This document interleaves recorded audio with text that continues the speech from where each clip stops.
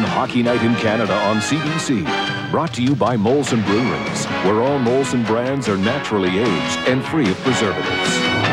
By Ford of Canada, where quality is job one.